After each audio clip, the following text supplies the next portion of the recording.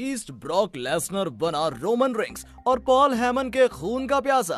खून का बदला सिर्फ़ खून से ही लिया जाएगा। दोस्तों, आज हुए स्मैकडाउन की शुरुआत W W champion Brock Lesnar ने की। लेकिन आज ब्रॉक बहुत ज़्यादा सीरियस और गुस्से में दिखाई दे रहे थे।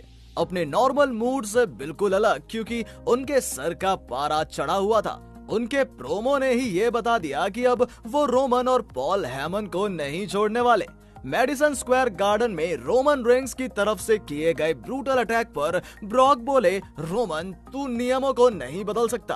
तू पहले मेरा खून निकाल कर उसके बारे में बातें नहीं कर सकता। मैं खून के लिए आया हूँ। मुझे रसलमीनिया कॉन्ट्रैक्ट्स और डब्ल्यू डब्ल्यू ई टाइटल से अब घंटा मतलब नहीं है। तो रोमन, तू अब तेरा पिछवाड़ा लेकर बाहर आ। तूने मेरा दिमाग सटका दिया है। मुझे तेरा खून चाहिए। रोमन, खून के बदले सिर्फ़ खून। बस यही चाहिए। इस दौरान ब्रॉक ने अपना डब्ल्यू टाइटल भी फेंक दिया था, लेकिन इस बार फिर से रोमन नहीं आए और उनकी जगह पॉल हैमन आए।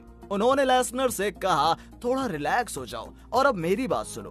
ब्लड लाइन ने तुम्हारा खून बहाया, तुम्हें ट्राइबल चीफ ने स्मैश कर डाला। अब तुम कितना भी गुस्सा कर लो, कितना ही चिल्ला लो, रोमन नहीं आएगा। स्पेशली तब जब वो इस अरीना में ही आज मौजूद नहीं हो।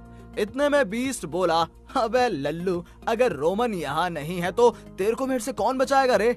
फिर क्या था? लोमड़ी पॉल हेमन सीधा बैक स्टेज की तरफ़ भागे। वहीं शेर ब्रॉक लेसनर अपने शिकार का पीछा करते हुए उनके पीछे पीछे भागे। लेकिन बीच में सिक्योरिटी गार्ड्स ने ब्रॉक लेसनर को घेर लिया और जितने समय में लेसनर ने सिक्योरिटी गार्ड्स को ठोका, इतने में पॉल हेमन वहाँ से कार में बैठकर फरार हो गए।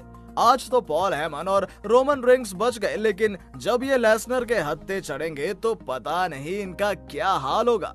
दोस्तों, अब ये तो पक्का है कि ब्रॉक लेसनर सबका खून बहाने वाले हैं, क्योंकि जिसने उनका खून बहाया, उसका खून ना बहे, ऐसा तो हो ही नहीं सकता। और पॉसिबिलिटी है कि रसलमीनिया में रोमन और ब्रॉक के बीच winner takes all first blood match भी हो सकता है। मतलब मैच के दौरान पहले जो भी अपने ओपोनेंट का खून निकाल देगा, वो जीत जाएगा। तो आपको क्या लगता है, क्या रोमन और ब्रॉक लेसनर के बीच फ़र्स्ट ब्लड मैच होना चाहिए? कमेंट करके ज़रूर बताइएगा। वीडियो पसंद आया हो तो लाइक और शेयर करें। चैनल को सब्सक्राइब करके बेल आइकन को ज़रूर प्रेस करें। Believe in God and thanks for watching.